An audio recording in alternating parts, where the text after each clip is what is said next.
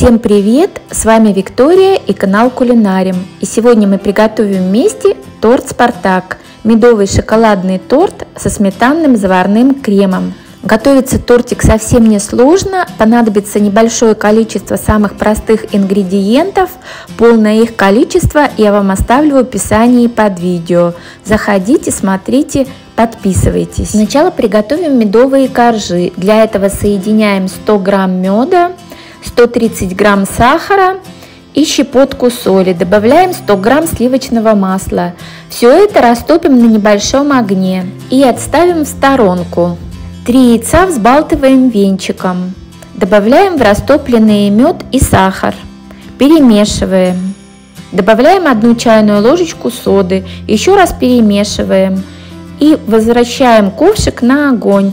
Доводим до закипания, регулярно помешивая, провариваем в течение нескольких минут до слегка карамельного цвета и отставляем. Подготавливаем рассыпчатые ингредиенты. Просеиваем 250 грамм муки и 40 грамм темного несладкого какао. Все тщательно перемешиваем Делаем небольшое углубление и постепенно в несколько раз добавляем жидкие ингредиенты в рассыпчатые ингредиенты и замешиваем тесто. Ориентируйтесь на консистенцию. Вот я вижу, что тесто у меня получилось еще немного жидковатое. Добавляю еще 70 грамм муки. Перемешиваю еще раз. Когда тесто становится уже не липким, Припыляем стол мукой, выкладываем тесто на рабочую поверхность и вымешиваем его руками. Слишком долго его мешать не нужно. Тесто должно получиться гладкое и эластичное и уже не липнущее к рукам. Посмотрите. Формируем из теста колбаску и делим ее на равное количество частей. У меня получилось на 9 частей. Из каждой части формируем колобок. Чтобы все кусочки получились одинаковые по весу, можно воспользоваться весами. Затем на пергаментном листе очерчиваем нужный нам по диаметру круг. У меня диаметр 20 сантиметров. В центр круга выкладываем кусочек теста и раскатываем его с помощью скалки. И то же самое проделываем с каждым кусочком. Каждый корж накалываем вилкой и отправляем запекаться в духовку, разогретую до 180 градусов на 6-8 минут. Пока наши коржи запекаются, приготовим крем. Для его приготовления нам понадобится жирная сметана, мука, крахмал, яйца, сахар и сливочное масло. Его желательно достать заранее из холодильника. Смешиваем сметану с яйцами и сахаром. Добавляем по желанию экстракт ванили. Добавляем муку и крахмал. Все перемешиваем обычным венчиком. Выливаем в ковшик, ставим на небольшой огонь, доводим смесь до закипания, уменьшаем огонь до минимального, регулярно помешиваем, провариваем в течение нескольких минут до загустения массы. Проверить можно по незатекающей полосе вот таким образом. Готовый заварной крем перекладываем в отдельную емкость, накрываем пищевой пленкой в контакт и даем хорошо остыть.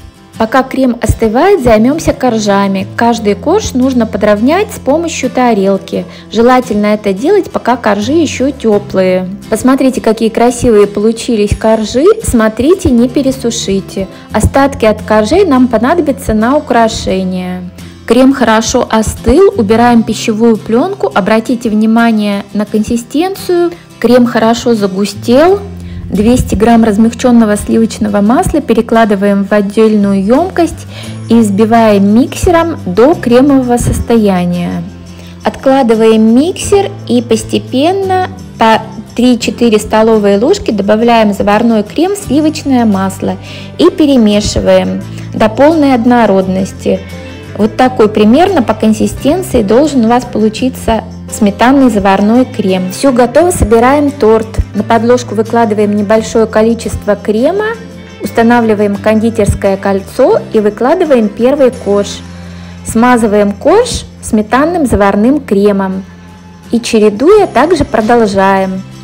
Корж, крем, корж крем. На моем канале много рецептов выпечки и несколько рецептов шоколадных медовиков. Есть рецепт без раскатки коржей и с кремом дипломат. Все ссылки я вам оставлю в описании под видео. И сверху выкладываем последний корж, который тоже немного смазываем оставшимся кремом. И убираем в холодильник на несколько часов, а лучше на ночь. У меня торт простоял в холодильнике всю ночь. Убираю пищевую пленку и слегка подравниваю его сверху и по бокам оставшимся кремом. Затем с помощью миксера делаю крошку и присыпаю сверху ею торт. И с помощью силиконовой кисточки распределяю крошку по всему тортику. И также по бокам. Я готовила торт, чтобы взять его с собой в гости.